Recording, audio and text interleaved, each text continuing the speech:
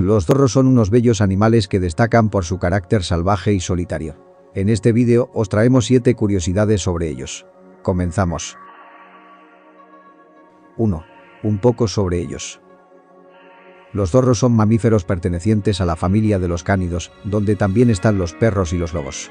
Su esperanza de vida ronda los 4 años y su peso va de los 2 a los 14 kilogramos, variando mucho según la especie. En cuanto a su pelaje, este es largo, suave y denso, y lo muda una vez al año, entre primavera y otoño. 2. Son muy veloces.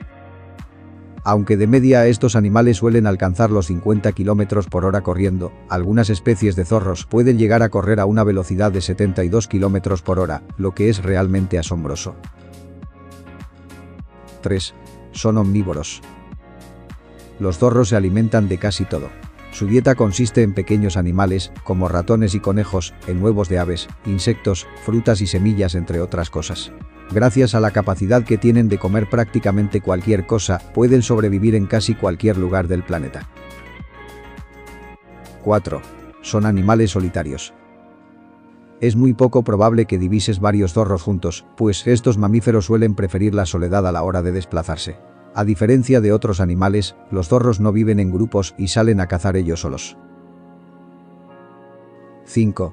Una comunicación peculiar. Los zorros se comunican entre sí mediante comunicación no verbal, ya sea con el movimiento de las colas o posturas de sus cuerpos, entre otros. Además, emiten diversos sonidos con tonos únicos y diferentes en cada zorro que les ayudan a reconocerse. 6. El más común. El zorro rojo o zorro común es el más abundante en el planeta Tierra.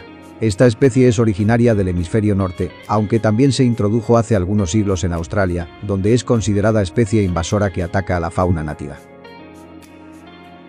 7. Son juguetones. Los zorros aman jugar, lo hacen incluso con otras especies como los gatos, perros o humanos. Uno de sus juguetes preferidos es la pelota, por lo que es común verlos deambular cerca de campos de golf para así robar las bolas de los jugadores. Hasta aquí el vídeo de hoy. Muchas gracias por vernos y hasta el próximo vídeo.